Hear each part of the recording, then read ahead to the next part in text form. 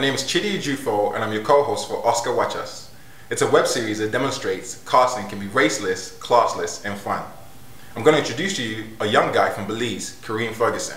He has worked across the United States at theater companies such as Alliance, Pioneer, Guthrie, and Penumbra theater companies. He is the lead in the Lamont Pierre film, Talking with a Taxman About Poetry, in which he plays Theodore based on the character from a poem, Notes from the Underground, written by Fyodor Dostoevsky.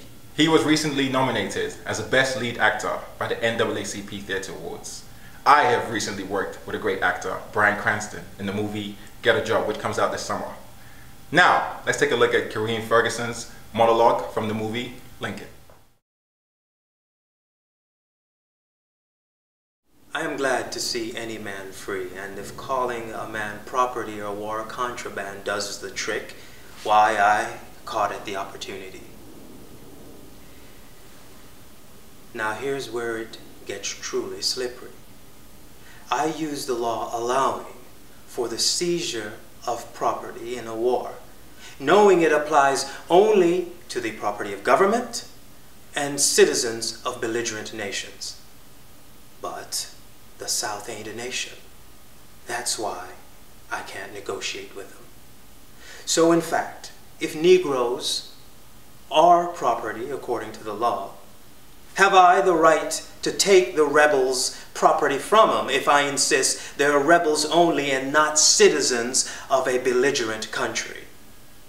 And slipperier still.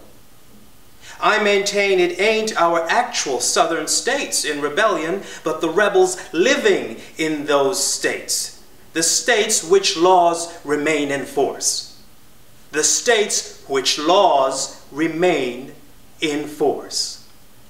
That means that since it states as laws that determine whether Negroes can be sold as slaves, as property, the federal government doesn't have a say in that at least not yet. Then, since Negroes can be sold as slaves, hence property, hence my war powers allow me to confiscate them as such, so I confiscated them.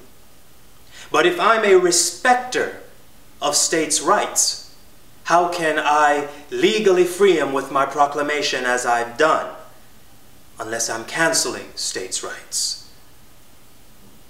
I felt the war demanded it. I felt my oath demanded it. I felt right with myself. I hope it was legal to do it. I'm hoping still.